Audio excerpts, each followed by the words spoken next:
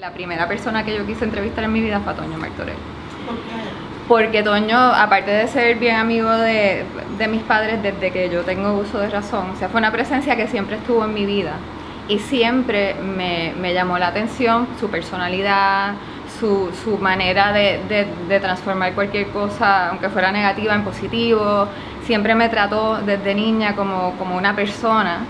Eh, y, simplemente siempre estuve fascinada por su perspectiva de vida, por su manera de, de ser y, y me divertía porque era como un personaje así mágico de, de mi infancia. Y entonces cuando regresé de la universidad, él estaba haciendo una exposición, fui con mis padres, me quedé maravillada porque era una que tenía así como muchas casas y no sé qué. Y pues le propuse hacerle un documental y lo estuve grabando como por un año.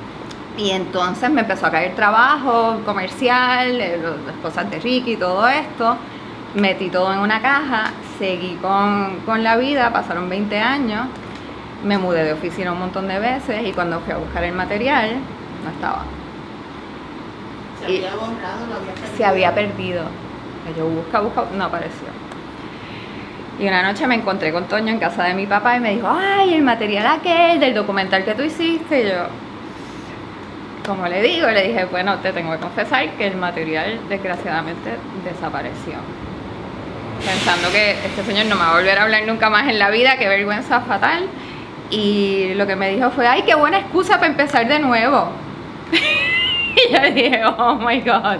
Y entonces, pues ahí no me quedó otro remedio. Yo estaba en un momento un poquito, o sea, de esos momentos en la vida donde como que te paralizas y estaba empezando a cuestionarme si quería seguir haciendo este trabajo. Eh, pero él no me dejó otra opción. Y, y cuando empecé a meterme en la vida de Martorell, que claro, yo lo conocía como un personaje de mi infancia, pero yo no sabía cuán extensa y complicada era la historia. O yo tenía eso por un lado, que me tuve como que empapar y ver y cómo yo resumo esto en hora y media.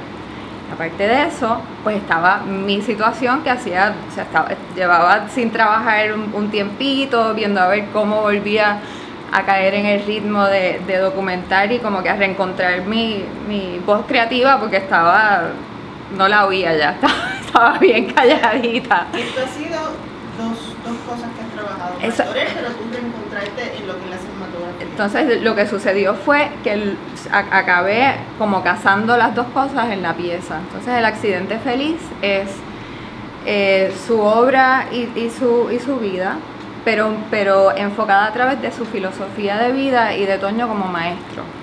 Entonces yo entro en el proyecto como de- desde una parálisis y como que me tiro al medio a ponerme en las manos de Toño y a través de, de- del proceso de documentarlo y de ir este, capturando cómo él trabaja, aprendiendo sobre su vida, voy identificando lecciones que en el proceso me fui aplicando de verdad. O sea, yo lo, lo tomé como un experimento. Dije, "Va- vamos a ver si yo me aplico la- la- el, el- el método de trabajo de Toño y su manera de ser quien él es, a lo mejor logro salir de esto en el proceso.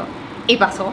Creo que cada vez se van poniendo más interesantes las propuestas de cine local. Creo que hay mucha gente joven que está saliendo con, con cosas buenísimas, cosas sencillas, que no tiene que ser un presupuesto enorme para, para hacer buen cine. O sea, me, me parece que hay muchas propuestas interesantes.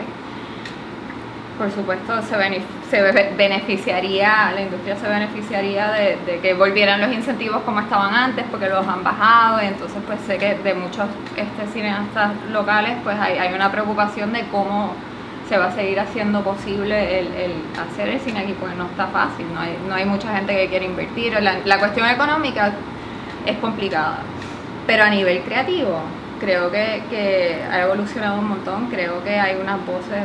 eh, bien genuinas, bien eh, frescas y, nuevos lenguajes que están este, saliendo. Creo que hay, que hay mucha gente buena. Me parece que, que, que en la medida que puedan seguir viniendo proyectos de afuera, pues sigue siendo tremenda, tremenda cancha y tremenda eh, aportación a la, a la industria cinematográfica en términos de poder tener trabajo.